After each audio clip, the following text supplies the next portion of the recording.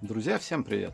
Сегодня я вам хочу показать, как легко и быстро можно сделать, наверное, одну из самых уловистых приманок именно на судака для рыбалки летом с лодки в отвес.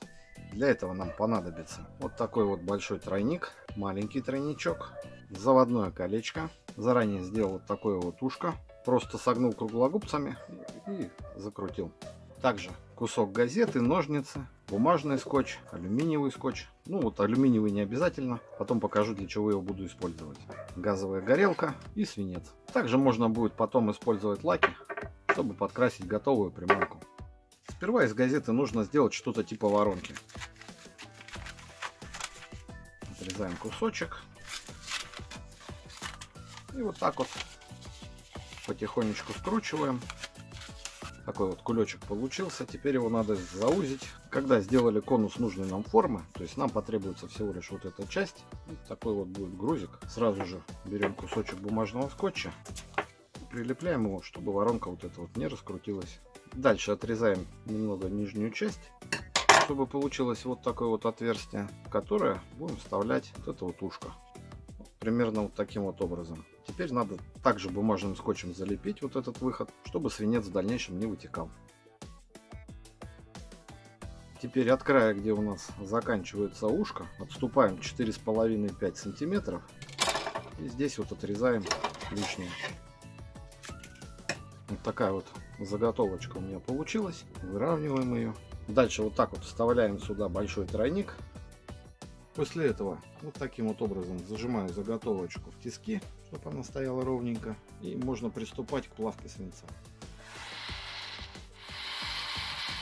Затем очень аккуратненько переливаем все это в нашу вороночку. И ждем, когда застынет.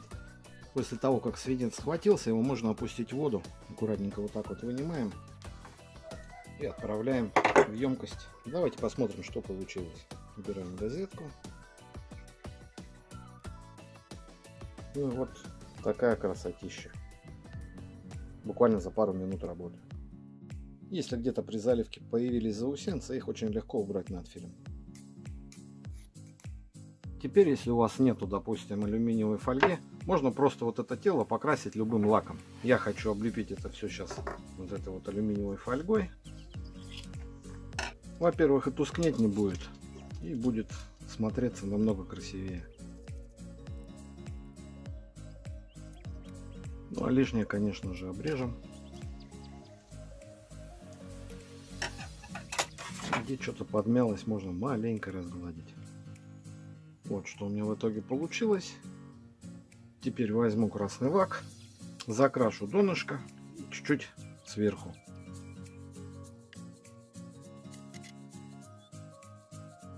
Ну и пока на большом тройничке сохнет лак, на маленьком решил сделать точку атаки. Делать я ее буду с холодной сварки. Этого делать не обязательно, это что-то мне так просто пришло в голову. Почему бы не попробовать? Сделал маленький шарик. И вот так вот его немного при помощи палочки разглаживаю. В принципе, вроде должно получиться. Ну, красный лак высох. Теперь можно покрывать прозрачным. Тем самым защитим и фольгу алюминиевую. Будет долговечнее. Ну и как бы судак любит блестящие. Ну и как раз застыла холодная сварка на моем маленьком тройничке. Тоже сразу же можно покрыть лаком. Вот, друзья, что получилось. Такая вот точка атаки. Довольно, думаю, неплохо для первого раза. Тут уже тоже можете покрывать, кто каким лаком хочет. Я покрасил вот таким вот образом. Вверх черный и снизу поставил оранжевую капельку. Ну и так, лак полностью высох. Осталось теперь все это дело только собрать. Надеваю заводное колечко и на него цепляю маленький тройничок. Вот, друзья, такая вот снасть получилась. Очень эффективная для ловли судака называется чертик. У нас она не запрещена. На такую, кто знает, тот рыбачит. Именно для рыбалки используются обычные зимние блеснилки, удочки. Леска 0,4-0,5. Заплывайте на точку лова, опускаете приманку на дно. Несколько раз постучали по дну, поднялась муть. И потом начинаете немного играть. Судак думает, что это малек. И очень часто атакует такую приманку. Да, еще одна фишка.